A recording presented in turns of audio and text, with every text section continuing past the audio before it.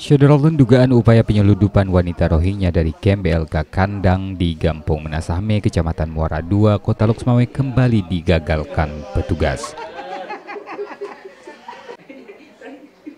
Oleh anggota TNI dari Kodim 0103 Aceh Utara, turut diamankan tiga terduga pelaku yakni DA warga Kelurahan Kota Matsun 4 Kecamatan Medan Area, Kota Medan, Kemudian JR, warga Gampung Sukarakyat Kecamatan Rantau Aceh Tamiang, serta ZA, seorang etnis Rohingya yang tinggal di kota Medan.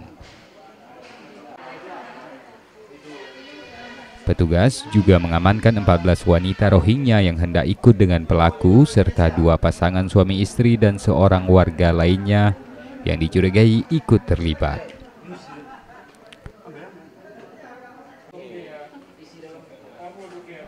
Kesemuanya kini diserahkan kepada pihak Polres Loksmawe untuk proses hukum lebih lanjut.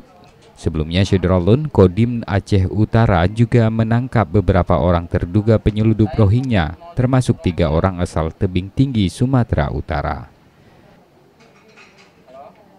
Dari Loksmawe, Zaki Mubarak, Serambi On TV.